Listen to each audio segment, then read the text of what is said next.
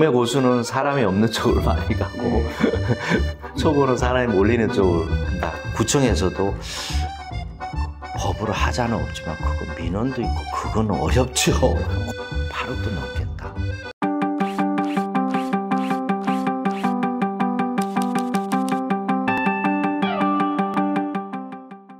저 친구 경매에서 전번에 뭐 3억 벌었대, 5억 네. 벌었대, 뭐 이- 이런 얘기 하시죠? 네. 그분 그거 3억 벌려고 아마 아파트 아니면 뭐 공장 이거를 수십 개를 바라보고 음, 조사하고 네. 현장 다녀보고 뭐 구두 굽도 한두 번 갈아보고 네. 그리고 전문가하고 의논하고 그리고 두드려 불고 두드리고 보고 이렇게 해서 버는 겁니다. 그냥 버는 거 없어요. 실제로 이제 책에 제일 처음에 나온 사례인가? 그 보면은 일산의 주거용 오피스텔을 6억 4천만 원에 낙찰받아가지고 아. 8억 2천만 원에 파신 얘기가 나오더라고요. 예, 예. 어떻게 된 거예요, 그러면? 그거는 별로 특이한 경우도 아닙니다. 어, 처음에 어. 이 물건을 낙찰받아야겠다고 생각하신 거는 어떤 이유? 아, 그거는 네. 저희 그 아까 말씀드렸죠. 어, 이 물건이 A급 같아. 네. 네. 아무리 봐도 네. 어, B급 이하로는 안 내려가요. 네. 이거 괜찮네. 네.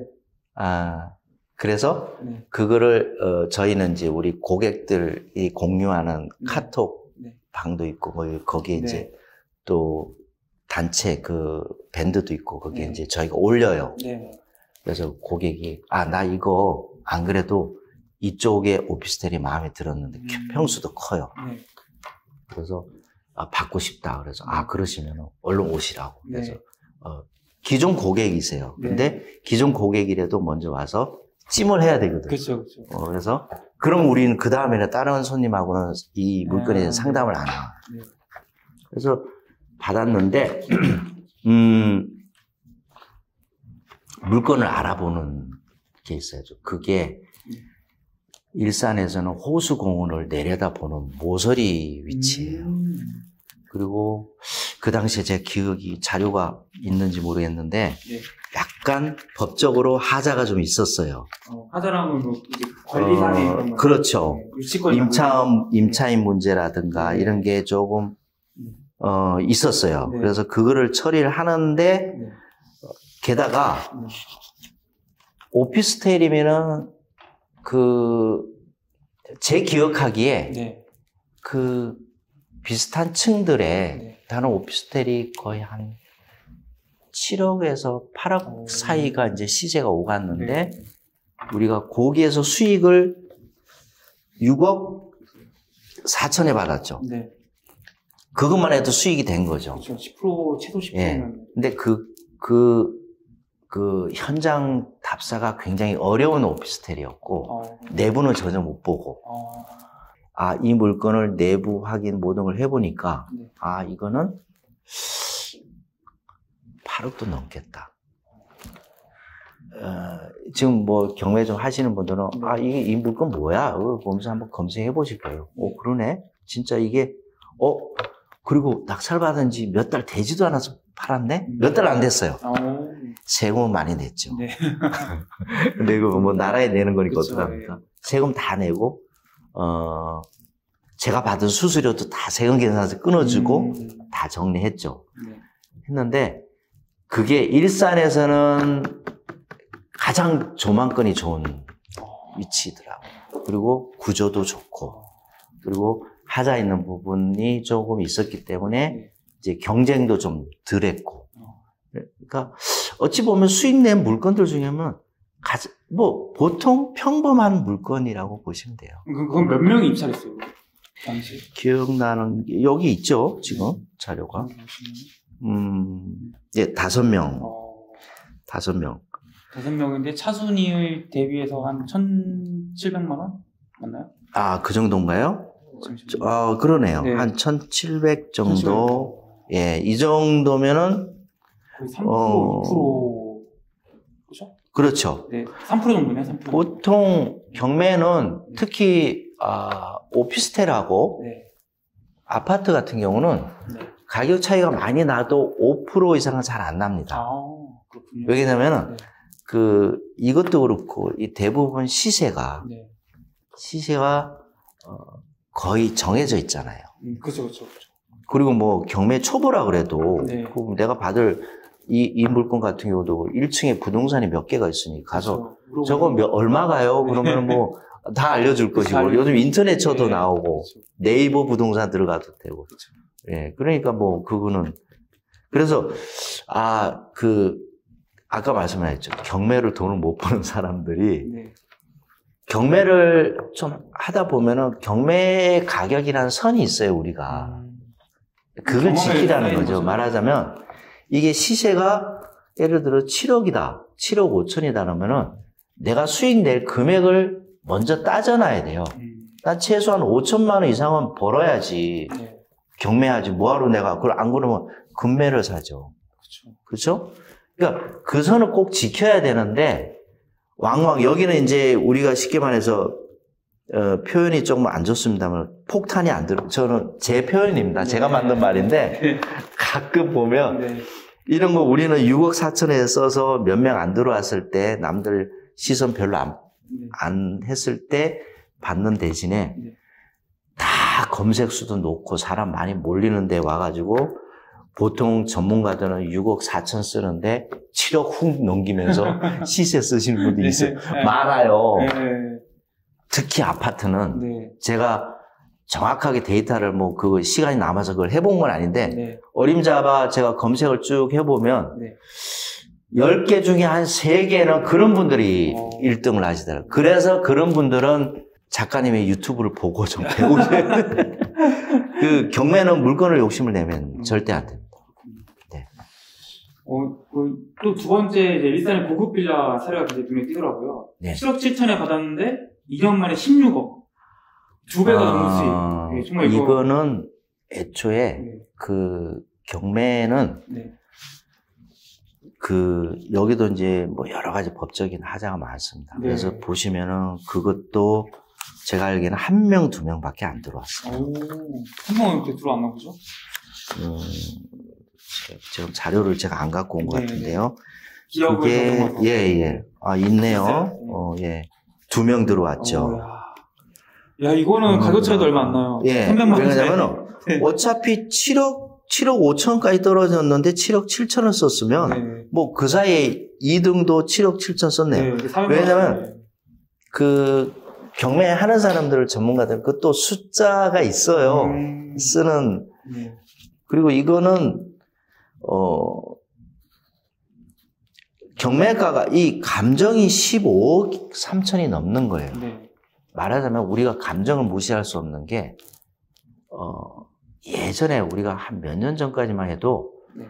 감정이 조금 그 시세보다는 많이 높여져서 나오는 경우가 많이 있었어요. 음. 근데 지금은 그, 런 경우가 별로 없습니다. 음, 왜 그러냐면 감정평가사가 네. 정확하게 시세 확인하고 어, 감정평가하는 방법이 있으니까 네. 그 룰대로 따져내는 거라 네. 그런데 이거는 왜 많이 떨어졌느냐? 네, 네. 일단 음, 경매는 금액이 좀 센 편이면 물건 종류마다. 네. 예를 들어서 상가면 상가가 이제 고, 금액이 높은 쪽이 있고 또 주거용이면 주거용. 주거용이 15억이 넘으면 비싼 축이 들거든요. 수도권에서. 그쵸, 그쵸, 아니, 서울 내 말고. 그쵸. 어, 수도권. 여기는 이제 수도권이니까. 18년이잖아요, 지금. 그렇죠. 20년 예 예.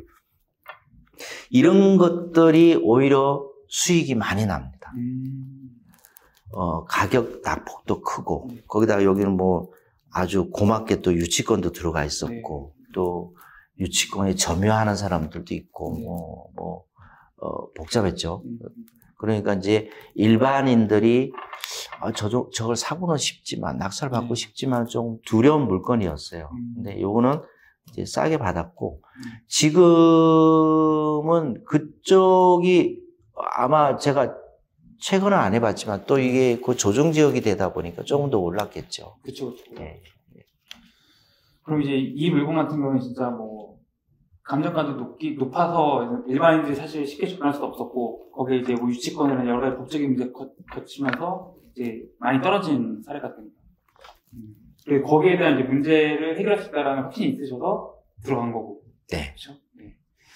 그럼 이러면 이제 경매 초보와 경매 고수들은 진짜 어떤 차이에서 비롯되는 걸까요? 첫째 아까 말씀드렸듯이 네. 어, 경매 고수는 사람이 없는 쪽을 많이 가고 네. 초보는 사람이 몰리는 네. 쪽을 한다. 이 말은 또 바꿔 말하면 뭐하냐면 네. 어, 물론 뭐 제 방식입니다만은 경매는 남들이 좋은 물건 있잖아요. 네. 그 아주 어, 뭐 흠잡을 데 없는 경매 물건은 네. 그거는 그런 게 있으면 경매로 하시지 마시고 네. 그냥 금매로 사세요. 음. 그 유사한 게 있으면. 음. 경매는 하자가 있어야 됩니다. 제 지론이. 그리고 문제성이 좀 있어야 돼요. 음. 그래도 기본 골격은 좋은 거. 음. 그 물건을 보는 네. 눈이 있어야 되죠. 네. 그 아마 경매를 해보신 분들은 네. 아, 어, 그 말 맞아. 아, 많이 음. 아, 동의를 하실 거예요. 왜냐면은 네. 생각해 보십시오. 좀 하자가 있는 거. 네. 그런데 이제 경매 고수가 되다 보면 네. 그 하자를 고칠 수 있는 자신이 생기고 그 이제 그 하자를 고침으로써 가치 상승시키는 거예요. 그렇죠. 그런데 그 경비가 얼마인지 계산을 해야 되겠지. 그쵸, 그쵸. 이제 우리 물건으로 와서 네. 예를 들어서 제가 공장을 좀 많이 하는 편인데 네. 공장은 특히 그런 각 낙폭이 커요. 음. 가만 보면 공장 위치도 좋아요. 네. 그런데 가 보면은 공장이 경매가 나오기 시작하다 보니까 벌써 뭐 거기 공장에 있던 세입자들 다 빠져나가고 그쵸. 쓰레기만 쌓여져 있고 그쵸. 녹도 쓸고 쓰러지고 네. 또 보면 뒤에 보면은 불법 건축물도 있고 뭐 인허가도 문제가 네. 된 데도 있고 또 진입로도 또 문제가 있고 뭐, 뭐 하자가 엄청 많아요. 음. 근데 그게 이제 20억짜리야. 네. 근데 그런 물건 제가 받은 적이 있거든요. 예를 들어서 이게 딱 보니까 하자가 한 다섯 개가 돼. 음. 아, 녹도 쓸어내 리모델링 해야 되네. 그럼 저, 어, 저거 한 5천만 원 들어가겠네. 또 뭔 진입로 문제, 또 인허가, 불법 건축물. 네. 어, 저거는 없애도 되고 있어도 되는데 뭐 양서가 되나 안 되나 확인하고 네. 쭉 경비를 따져보니까 2억밖에 안 돼. 어. 근데 떨어진 게 이게 뭐 거의 뭐 한 9억 얼마까지 떨어, 아, 파, 저, 막 7억 얼마까지 떨어지니 10억을 딱 써. 낙찰 받아요. 네. 받고 2억만 더 써. 그쵸. 그리고 다시 만들어 놓는 거죠. 네.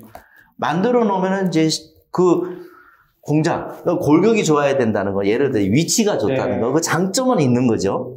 그 장점을 살려놓으면은 세입자가 들어오는 거죠. 음. 들어오고 임대가 차지면은 벌써 임대 수익을 역산을 계산하는 법이 있거든요. 네. 음, 그러면은, 어, 이거 월 거의 천만 원 이상, 뭐 한 천삼백 정도 나오네? 월세가? 그러면 20억 된 거죠. 음. 그럼 그냥 세 받으시다가, 뭐 내가 수리한 것도 있고, 뭐 한 것도 있고, 계산서나 잘 챙기고 있다가, 또 뭐, 다른 거 더 좋은 물건 있을 때는 20억에 내놓으면은 팔려요. 예. 네, 경매는 꼭 이쁘고, 네. 아름답고 네. 뭐 아, 흠잡을 수 있- 없는 거 그런 거는 수익률은 일으키기가 어렵다는 음. 거는 알고 계셔야 돼요. 1층 상가를 5,600만 원에 낙찰 받아가지고 2년 후에 거의 2억에 가까운 돈을 받고 매각하신 상가가 있으시다던데 네. 그 상가는 어떤 상가였나요? 아까 제가 잠깐 네. 음, 말씀드렸던 건데 네. 그 상가예요. 네. 그것도 어, 그냥 저는 아 B 플러스에서 A 네. 요 정도 물건이라고 네. 판단을 했어요. 왜냐면은 네. 큰 건물이 있는데 네. 건물이 이제 그 중앙 통로가 있고 네. 뒤에 후문이 있고 네. 그 다음에 엘리베이터가 있어요. 네. 그러면 중앙 통로에서 들어오면은 쭉 들어오면은 가운데 큰, 큰 건물은 로비 같은 게 있잖아요. 네. 그 꼭대기층까지 펑 그쵸. 뚫려 있는 네. 그 로비가 경매가 나온 거예요. 아, 네. 그럼 누, 그 보면은 그래요. 저거 로비인데, 네. 어, 저거 뭐 하지? 네. 그래서 이제 그 그게 나와서 많이 떨어졌다고 감정보다 음. 뭐 한 30 몇 프로 음. 제 기억에 20 몇 프로까지 떨어졌던 어. 걸로 알고 있어요. 25 프로, 네. 24 프로인가 25. 그래서 그 제가 조사를 했죠. 했는데 아니 이 로비 이거 사무실로 꾸밀 수 있을 것 같다는 생각이 들더라고요. 음. 그래서 조사를 좀 해보니 네. 음, 결론은 네. 어, 나만 될 거라는 생각을 가진 거라. 아. 어, 그거 단독으로 받았어요. 어. 단독이란 걸 혼자 네. 입찰을 들어가서 5천 얼마를 썼죠. 그건 뭐냐면은 일반인들이나 또 깊게 조사를 안 하면은 그건 뭐냐면 평생 그걸 낙찰 받는 순간에 관리비만 내야 되는 거야. 음, 그쵸. 매월 십몇만 원씩. 네. 그리고 그 소유를 하고 있는 그 소유자도 이제 회사인데 주식회사 회사인데 관리비만 지금 몇 백만 원 밀려 있더라고. 음. 그래서 그거죠. 내가 받아도 이거 사- 활용 안 하면 사람들 좋은 일 시키고 왔다 갔다 그쵸. 엘리베이터 타는 사람들 지나가는 거리니까 그쵸. 그래서 제가 이제 관련 구청, 시- 아, 구청에 가서 확인해보고 또 관리실 확인해보고 그쪽에 또 관리단도 확인해보고 네. 하니까 다들 어 거기는 못 하나 못 박아요. 어, 어. 구청에서도 그 법으로 하자는 없지만 그거 민원도 있고 그거는 어렵죠. 거기 살래서 왜 공무원들도 정확하게는 사실. 본인들 책임을 소재가 있기 때문에. 근데 제가 판단하기에는 100% 된다고 보였어요. 음, 그래서 뭐 아까 제가 처음에 말씀했던 내무부 장관이 그 하지 말라 그래서 네. 안 받은 거를 제가 받았죠. 네. 하고 자, 자신이 네. 있었으니까 네. 받아서 해결을 했어요. 음, 뭐 민원 해결하는 거는 뭐 우리 경매하는 사람들이야 뭐 그 기본적으로 몸에 배 있는 거고 인허가 부분은 뭐 소방 시설 정확하게 해서 서류 집어넣고 절차대로 받아내면 그렇죠. 됩니다. 그래서 사실 경매는 네. 중개사법, 네. 공법, 세법, 네. 총 그래서 중개사들 중에서도 보면 제가 말이 옆으로 잠깐 셉니다만은 네. 어, 경매를 하는 중개사들은 지식이 많아요. 왜? 늘 다시 공부를 해야 되거든. 그쵸. 어, 법적인 거, 공법인 거, 또 인허가 문제 다 해야 돼. 어, 겨- 요 물건 같은 경우는 제가 알고 있는 지식, 또 뭐 책도 보고, 뭐 다 펼쳐보니까, 어, 문제 없이 하겠더라고. 그래서 관리단하고 민원이 생긴 거는, 네. 음, 제가 그 투자, 제, 제 투자 자금에도 다 포함, 관리비 밀린 거, 네. 음, 관리단은 얘기했죠. 이거 제가 법적으로 깎을 수 있다. 네. 근데 나 안 깎겠다. 네. 어, 다 드릴게요. 네. 그 대신에 내가 이거 상가 이렇게 상, 사무실이 들었으면 네. 어, 상가도 더 삽니다. 네. 예, 설득을 시켰죠. 네. 그리고 또 마지막으로 법적으로 하자가 없으니까 내가 하는 일에 막는다면은 네. 저는 그냥 그대로 가고 여러분들은 나중에 저한테 손해배상도 받을 수 있습니다. 하는 걸로 음. 이제 결론을 지었죠. 그래서 어, 그리고 어찌됐든 낙찰을 받은 사람 나도 이제 이 건물의 관리단이라는 권리가 그쵸, 있으니까 그쵸. 뭐 그런 부분을 해서 처리를 했고 낙찰을 받자마자 음, 어차피 비어 있는 데라 뭐 명도비 들어갈 것도 없고 그쵸. 뭐 아무것도 들어갈 것 없죠. 한 일주일인가 이주일 뒤에 그 칸막이를 로비를 로비가 길게 이쁘게 생겼어요. 네. 그러면은 사무실이 생기면 양쪽으로 복도가 생기는 거죠. 그쵸. 전체가 네. 네. 거기 해서 세 칸으로 딱 나눠서 월세를 50, 50, 50씩 받으니까 얼마 나와요, 월세가? 150. 150만 나오죠. 음. 150만 원 곱하기 2 하면 얼마죠? 300이죠. 300 곱하기 100 하면 어떻게? 3억이죠. 네. 그리고 보증금 100, 500, 500, 500, 1,500만 원, 네. 3억 1,500만 원. 네. 그게 은행에, 아, 은행은 아니고 우리가 이 경매하는 사람이 역산을 해서 음. 수익률 6%에서 7% 나오는 그 어. 무- 건물의 가치거든요. 네. 그러면 3억짜리가 된 거 아니에요? 그쵸, 그쵸. 근데 그걸 제가 네이버에다가 2억에 팝니다 그러니까 냉큼 나가죠. 그리고 그 세는 본인이 인수하고 그쵸, 그쵸. 그 본인도 어, 그 매입을 하신 분도 본인이 그 저 뭐야 공무원이신데 네. 어 임대 그 저 저 임대 수익을 좀 일으키고 싶은데 그렇죠. 예, 이렇게 해서 2억에 150이면은 거의 수익 요원 좋은 거죠. 그렇죠. 네, 어마어마한 거죠. 그래서 경매는 네. 하자가 있는 거를 네. 정상적으로 만들어 놨을 때 수익까지도 감안을 하고 Hey, I got a confession. Been losing all momentum. Just because it's easy, well, that don't make it better. I wanna dig my hands deep down in the dirt, take a walk along.